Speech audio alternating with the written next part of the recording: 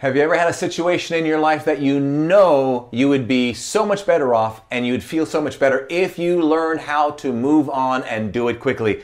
Hey, it's business and life strategist Gary Coxe, and in today's video, I'm going to share with you some strategies that will enable you to move on and do it very quickly.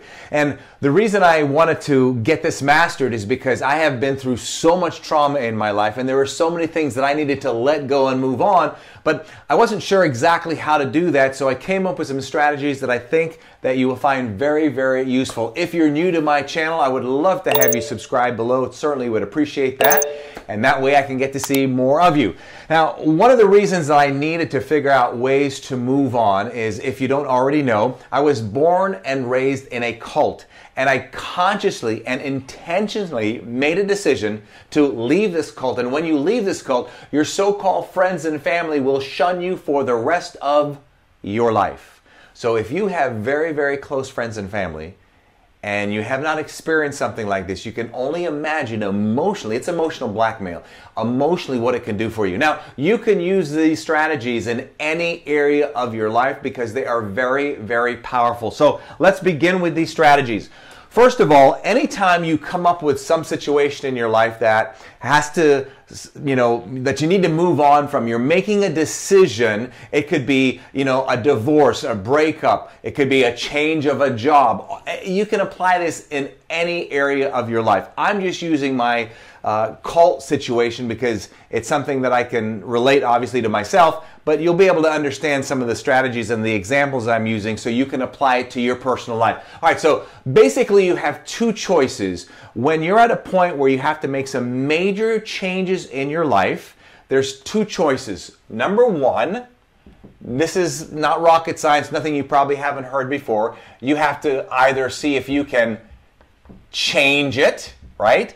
So if I'm leaving this cult and I am making a decision to leave knowing that my family and my so-called friends they're going to shun me for the rest of my life can i change that well the answer would be yes i can only change it if i go back in am i willing to do that no can i change them to accept me the chances and the odds of that happening are slim to none so i'm faced with can I change it? So the answer right now would be no.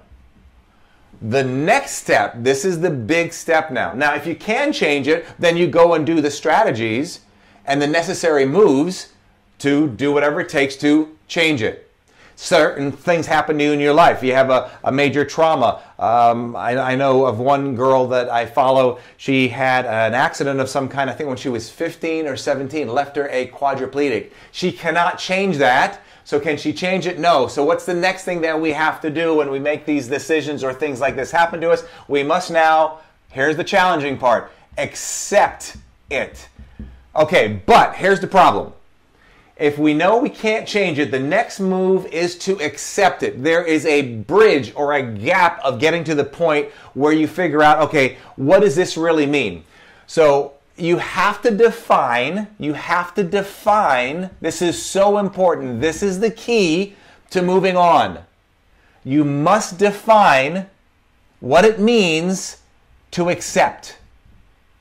Because if you don't have it defined, you don't have a measuring rod. You don't have uh, a baseline, something to look at to figure out, have I accepted or not? So if you define accept, I'll give you an example for my situation.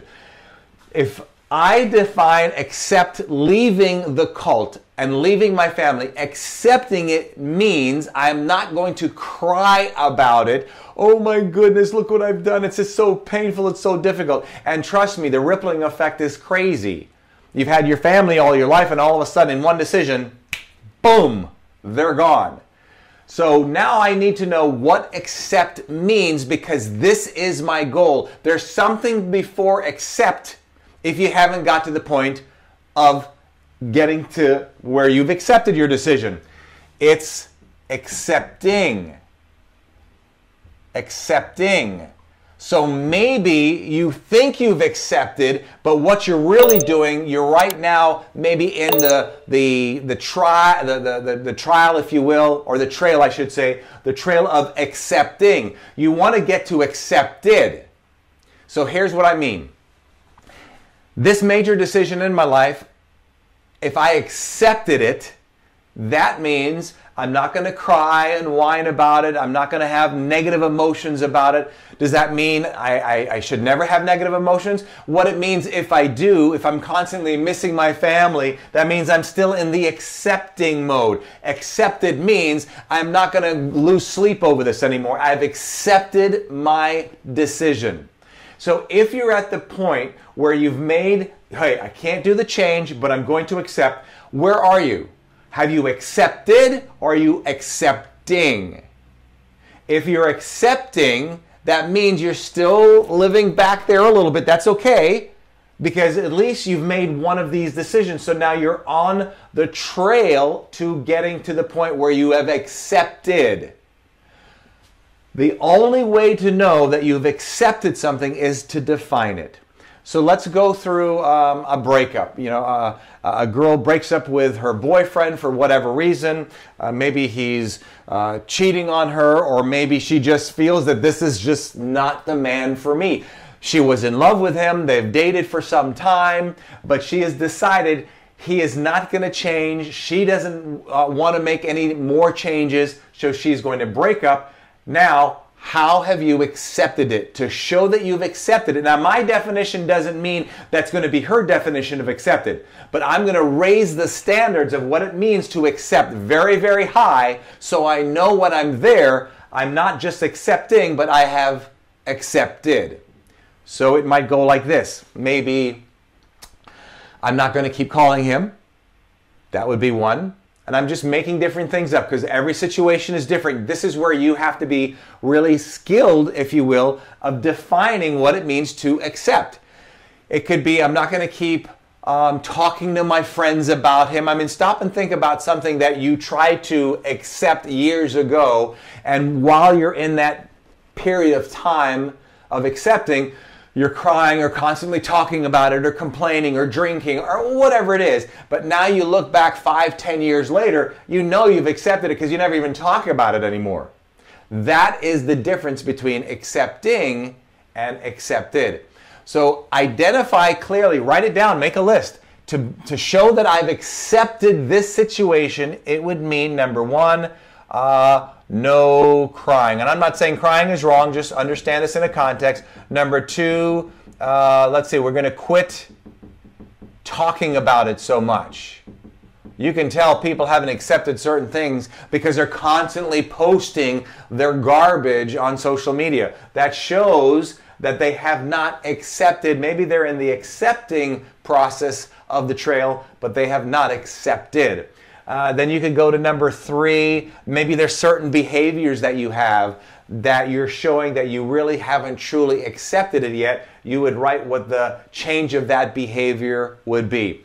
All right, there you have it. Just checking my time here. I don't want to take you too long. So these are the things that I go through. And if you want to really learn to move on quickly, very fast, get to the understanding and a definition of what it means to be uh, accepted in your situation, that you accepted it, figure out exactly what that is, and this is your goal, all right? So as you get to this goal of you've 100% accepted along the way, if you're not doing well yet, you're just accepting, but it's better than living in the past and just going in a, in a hamster's wheel, all right? So there you have it in a nutshell. Do your very best to identify what it means for you to have accepted the situation.